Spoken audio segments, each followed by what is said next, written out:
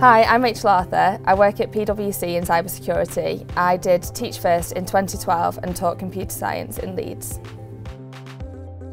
I chose to Teach First because it gave me an opportunity to get into teaching, something I've always been interested in doing. But after doing a four-year degree, I wasn't keen to go back to university for another year. Um, I'd been a teaching assistant for a couple of years whilst at university in between my studies, and I was just really keen to sort of get on and do a job after university, and Teach First gave me the perfect opportunity to do that.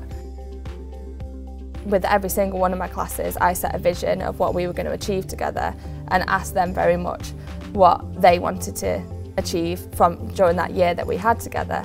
There are days when the kids are playing up and you've had a bad day and it's been stressful, but then you can bring it back to why are we why are we doing this? What do you want? Because you've got to spend an hour with me every single week and we've got to do this, so what can we get out of it?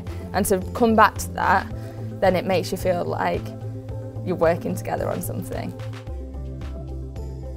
having Teach First on your CV does open doors to you, there's no denying that.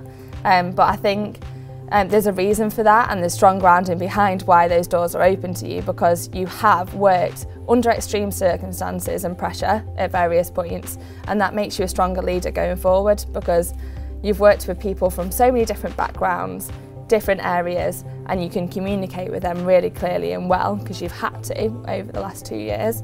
Um, to then take that into industry, you can communicate confidently with everybody that you're going to be working with because I can promise you that my clients are nowhere near as scary as my year 10s were. One of the most important skills if you're going to work in IT and computer science is the ability to communicate non-technical technical things in a non-technical way. And to be able to do that, you need some experience of it.